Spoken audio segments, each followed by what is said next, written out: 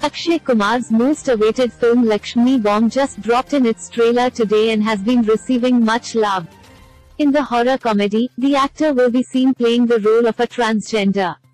The film also stars Kiara Advani in a pivotal role. Several celebrities took to social media to praise the film. Varun Dhawan loved the trailer of the film and tweeted, Hum hain seedha sadha Akshay. Akshay, this Diwali enjoy hash Laxmmi bomb guys with Akshay sir and Kiara mom. Loved it.